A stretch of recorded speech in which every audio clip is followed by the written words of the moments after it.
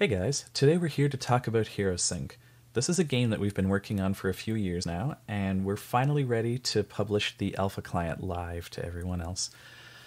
As you can see here, we have a login screen. This is the first place you'll arrive. When you open the demo, you simply type in your username, you type in your password, you can have it remember you or not, but you're going to want to click register first. Just a username, a password, and an email, and you're not even going to have to confirm your email for the sake of this demo. Once you've typed in your username and password, you simply click login and you'll have access to the game room. You click on the game room and pick one of the five character decks and you will see a join game or watch a game option. So we will click join a game and then you have rock, paper, scissors to see who goes first. So you'll see your opponent's character here and your character down here. This is your life total, which we call influence. You get 400, and your opponent gets 400. I'm just going to pick paper. So did he. Oh, kitty. Ta-da, he beat me. So, this is where you'll first meet our blob mascot. He's going to be in the artwork of most of the cards. Um, so, it looks like he chose to have me go first, and that's fine.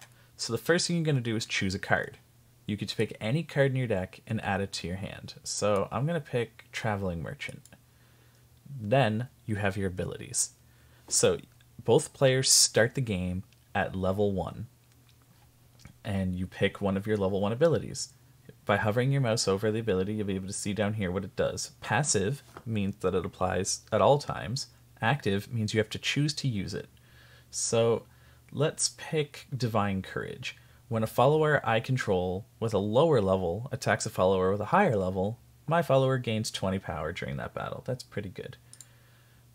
And now I draw the rest of my hand, so does he, and I've gone first. You have your dice button, your coin button, your token button, and your counter button for if you need to keep track of things. You type a number in here to increase or decrease your influence total, and this button ends your turn. So, by hovering over a card, you get some options uh, we'll start with our friend the Traveling Merchant. We can reveal him, put him to the deck, set him face down, send him to the Fallen area, which some Yu Gi Oh players would know as the graveyard, and of course, play. So, he has an ability here. You'll notice there's quite a lot of details. The 1 is first that that is his level. The 10 is his power. Power is what he uses for the sake of combat. And this star is his allegiance he is not allied to any particular hero, so both my opponent and I can use the card Traveling Merchant. Elvish Infuser is aligned to my hero. Only Becca, the Golden Knight, can use Elvish Infuser. So, he is a follower card. These are similar to your monsters, your minions, whatever you want to call them. And he has an advance effect. Advance effects trigger when he comes into play and he says I can discard a card to search my deck for another level 1 card and add it to my hand, but I lose 10 influence if I use that ability. So let's use that ability. Let's just discard uh, Elvish Infuser, and by going over to our deck, we can click on View, and we can find a level 1 card and place it in our hand. And I think I want Mm, local militia. That's a good card. Let's put that in our hand. And then I lose 10 influence. Pretty simple.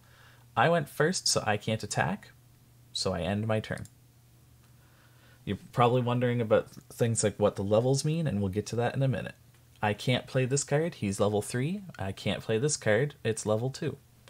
So let's see what our friend Ditchin here is going to do with his first turn. It looks like he's going to play the Public Enforcer. That has a power of 30, much larger than my 10. And he's going to prepare a counter in his back row.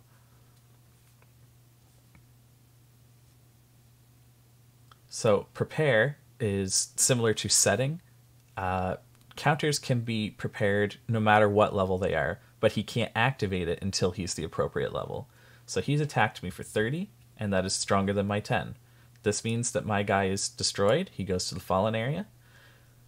But the 10 that gets done back to his public enforcer doesn't decrease this 30 down to 20. They don't have like health that you diminish. He's just still 30. And because he was stronger than mine, I lose influence. The amount you lose is equal to the level of your follower times 10. So I take 10 damage. If he were to attack me directly, I would take the full 30. But 30 over 10 does not do 20 damage. Now that he's ended his turn, we've both had a turn at level 1. Each player is now level 2. So now I get to pick one of these level 2 abilities. I can't ever use Scout the Enemy, no matter how hard I try, because I've picked Divine Courage as my level 1 ability for this match. So at level 2, I have three different choices. And I think I'm going to go with Surpass Limitation. It says target level 3 or lower follower you control, and it increases its power by 30. It can't attack heroes, though. It means I can't attack directly. And the changes last until the follower dies, so it can never attack directly once I've chosen that. So we've got to be very careful with this ability. So we're going to pick Surpass Limitation just to show some examples of using active abilities. And he took Poison Dart. So if I click on him, I can see which abilities he's chosen as well. Poison Dart means that as an active ability, he can use it once per turn and shoot me for 20 damage. And he chose Lethal Poison Beta, so at the end of each of my turns, I lose 10 influence. I didn't lose 10 influence earlier uh, from that, so I'm going to do that now and start my turn.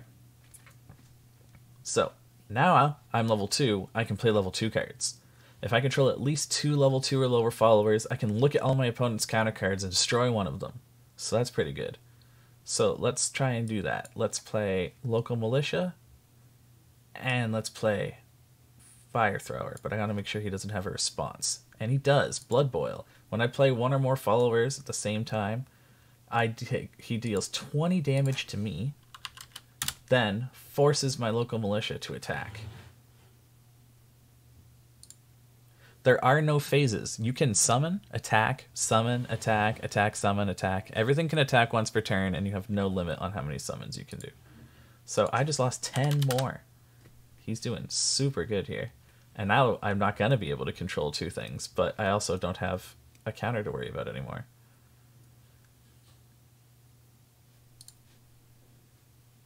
So I can play Fire Thrower. When it attacks or is attacked, it deals 10 damage. And I can use Chosen One. Target follower gains 10 power, and if it kills a follower, I search my deck for a card with the same name as this card and put it into play chosen one on Fire Thrower. That's going to give him 10 power. So we put the little counter on him, marks that now he's 20. And I can use Surpass Limitation. Target a level 3 or lower follower and increase its power by 30.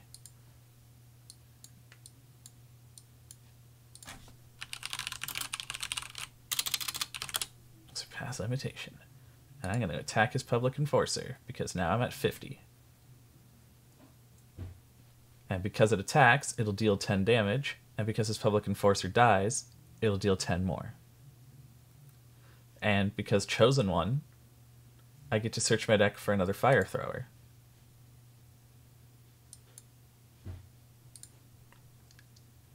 But it can't attack this turn. And is this when do I lose the 30? the 30 for surpass is permanent. I'm just double checking. I don't want to make any mistakes here. Search deck okay. Yeah, it looks like I'm just sticking at 50 with fire thrower here. So now it's Dylan's turn. What does heal venom mean? So heal venom would be his level 4 ability that says no hero can gain influence for the rest of the game. Lethal poison beta. He's correct. I take 10 damage.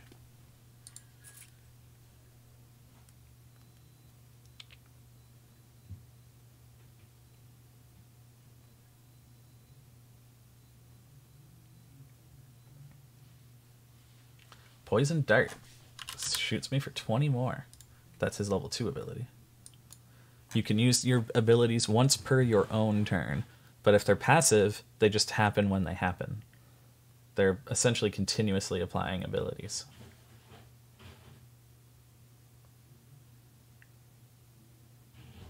And it looks like he's using Red Tide Toxin.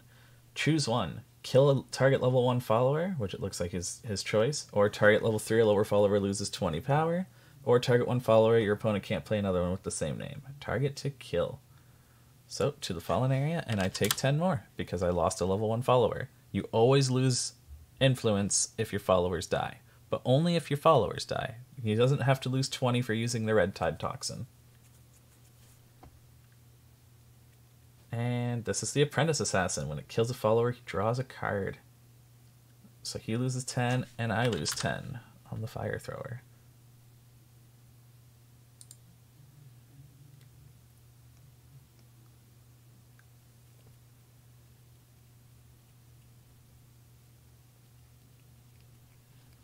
Grave Plunderer. That's going to attack me directly. I'm going to lose 30.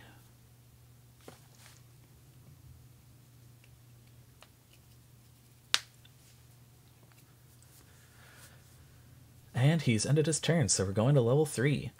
If I control two followers, both with different levels, I can draw a card. Or, followers can't be forced to attack. He doesn't have any cards that do that except for Blood Boil, which he did just possibly set, so I should probably take this. Or, level 1 and 2 followers gain 20 power, and level 3s gain 10. I think I'm going to take defensive formation, so that he can't use that blood boil on me. And he took biosample. At the end of each turn, if you kill two or more followers this turn, draw two cards. Rough. Alrighty. So, now I'm level 3. It means I can finally play my Grand Gladiator. If it kills an opponent's follower, I can sacrifice it to play a Spartalos Champion of the Arena from my deck. That's the good stuff. It's one of the most powerful combos in this deck. So we're going to have Spartalos, and this thing's a bit of a bigger threat, so let's take care of that.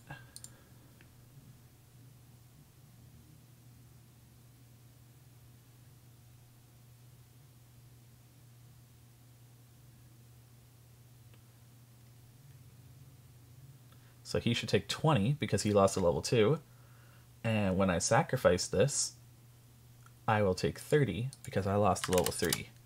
And that's going to summon Spartalos, the champion of the arena, from my deck. And Spartalos says if he's played by the effect of Grand Gladiator, I play a Fallen Gladiator and a Grand Gladiator from my deck. But they can't attack directly this turn. So Fallen Gladiator and Grand Gladiator. They can't attack directly, but they can still attack opponent's creatures. So let's take care of that Apprentice Assassin.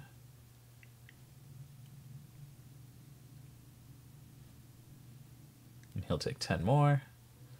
And this guy can attack directly. For 90.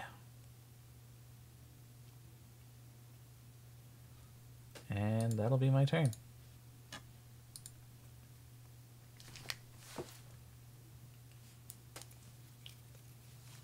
And I take 10 for Lethal Poison Beta.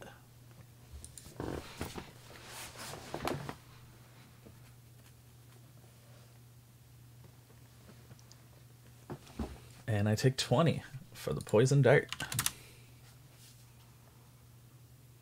I'm half dead.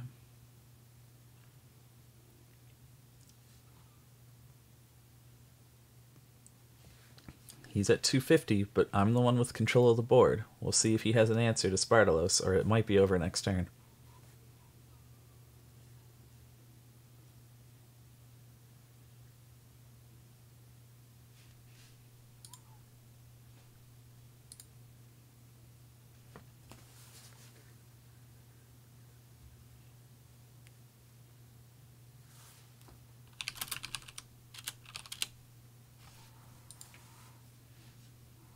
He's got Cobra, Grave Plunder, and Grand Gladiator. So I'm not going to be able to attack him directly, that's for sure.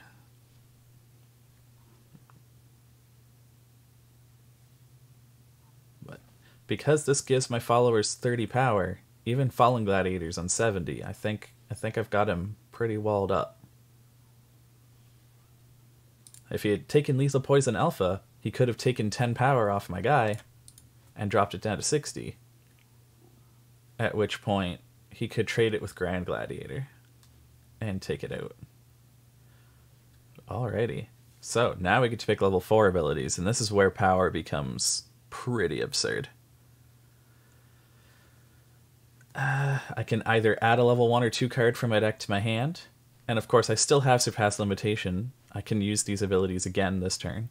Or I can heal 100 influence and draw 3 cards. Or I can make it so that I draw until I have 3 cards in my hand, and I can't be forced to discard cards for the rest of the game, and block him into only one draw per turn. But we're going to pick all warmed up. So that heals 100 influence and draws 3 cards. He took Toxic Cloud, so on his turn, he's going to be able to make all my followers lose 30 power, but he won't be able to summon level 4 followers for the rest of the turn. Together as one. If I control a level 1, 2, and 3, I draw 3 cards. Unfortunately, I control a 2, 3, and 4. And this one is for controlling at least two level 2 or lower followers. I've got some early game cards that I'm not getting any use out of. And the rest of these are followers, which I obviously can't play as my board is full. So I guess we're just going right into combat.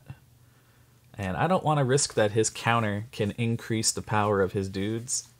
So I don't want to like barely be 10 stronger. So let's start with some easy trades. Like this one.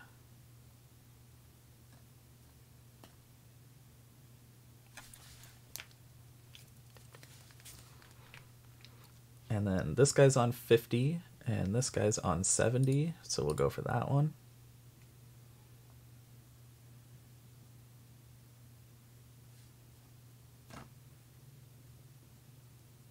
And there it is. Target that follower, it loses 20 power. So, we're both on 50. This means we both die and we'll bo- I'll lose 20 and he'll lose 30 as his card was level 3. So that was still a pretty good trade for me. And then now this is definitely a free attack to do 30 more to him. Now this is where it gets really cool. I can summon a follower and attack now. All followers I control gain 10 power as long as this guy's in play, so I can buff up my other two guys a little bit. Or I could play the Traveling Merchant and discard a card I'm not going to get to use in order to search for one I will. Or I can just replace my Lost Fallen Gladiator. I think I'm going to do that, because this one's the most damage. This is just a clean 70 right to the face. And that makes it Dylan's turn.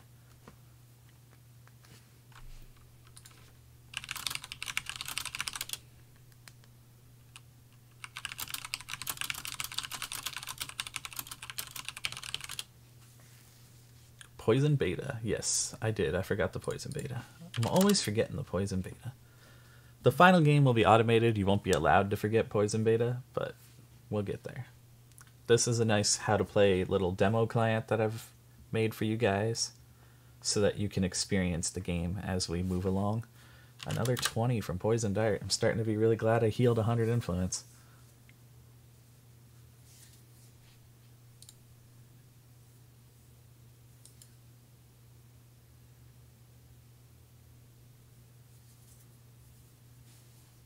Can his cards stop the mighty Spartalos?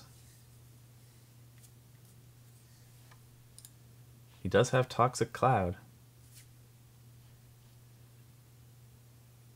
And he would have been able to use Lethal Poison Alpha again. So Toxic Cloud is going to sap all my guys by 30.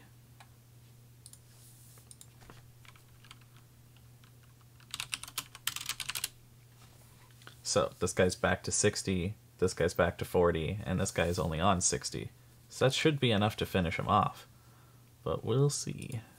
So I can't use my level 4 ability again because I chose all warmed up and it only happens once. I can surpass limitation, but then I can't attack directly. So none of my abilities are really doing much for me right now. I think what I do is just go for it. Swing for the 60.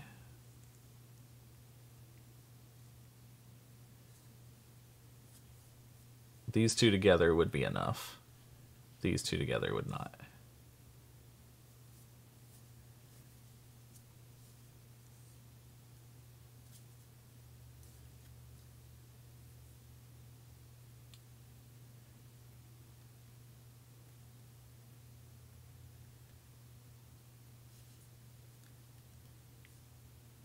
Do I have him? He's thinking hard. Attack.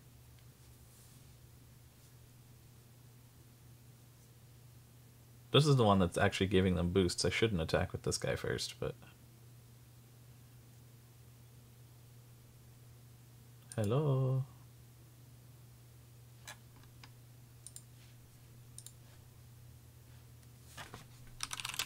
Oh, there we go. And 40. Is that the match?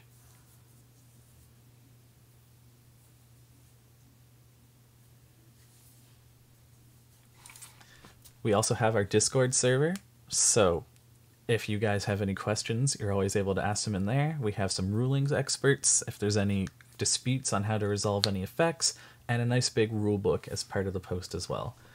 Looks like I win. It was a nice clean victory for Becca over Tutaric. And there's the rematch button, and of course you can also view replays to go back over how you did, and then the quit button. This would allow you to come and look at your game records where you can see your replay as well and look at the log. And of course you can watch some other people playing. So it looks like we have Vantus Bloom here exploring the Mika deck on his own time, his or her own time. They're in a little solo mode game there. So that's the HeroSync demo. If you guys have any other questions, do please join our Discord server. We'd love to hear them. We're always looking for feedback, and we just want to let you guys play as many games as you can. You don't have access to the deck constructor because these are just some starter decks, but I promise you, the decks are all very, very well tuned together. The texts are constantly being updated to make them more and more clear, and there is five perfectly great heroes for you to come and check out. I really would love to see what you guys think. Thanks for checking out this video and have a wonderful weekend.